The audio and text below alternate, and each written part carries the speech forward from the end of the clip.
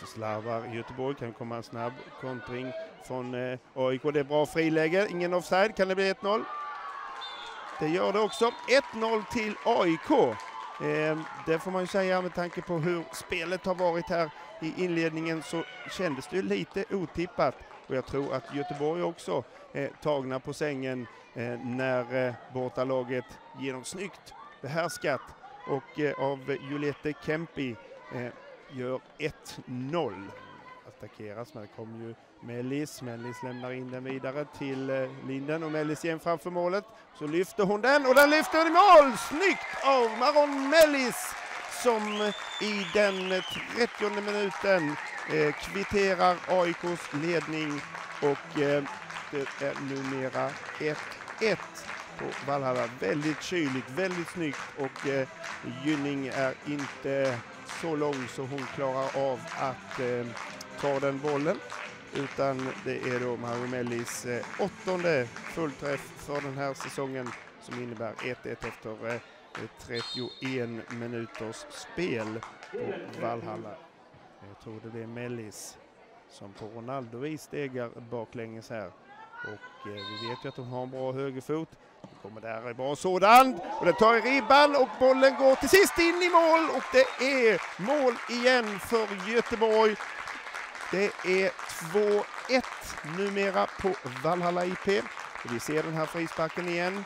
Det är Melli som eh, tar hand om den. Han lyfter den ganska högt. Eh, Gynning får inte riktigt tag på den. Och sen är det, jag ser faktiskt inte vem det är i eh, Göteborg som eh, är sist på den bollen.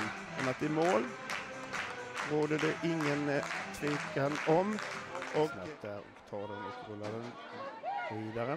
Nu kommer en snabb omställning där inte Göteborgsspelaren med. Inte sist så sätter ju Sara Linden igång. En fin boll, en fin djupledsboll. Kan komma ett nytt läge för Göteborg och det gör de också. Och gör mål, vilket är 3-1 till Göteborg.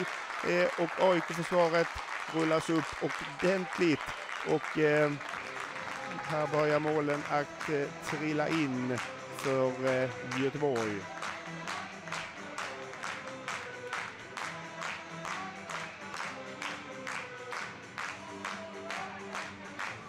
Därefter inte så bra, men kan komma ett läge här. Eh, Mellis ute till höger finns ju Engman.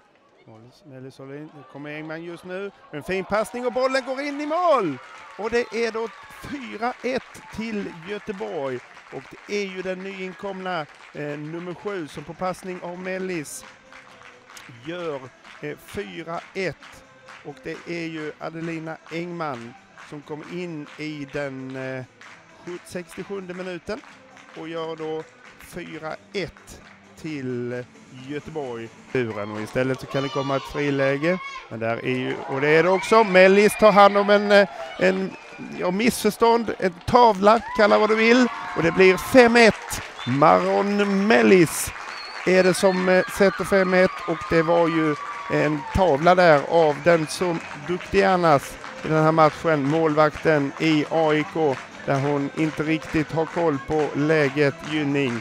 Hon springer ut och får inte riktigt träff och Marlon Mellis gör ju allt rätt och bara har en fri väg in och slår in 5-1.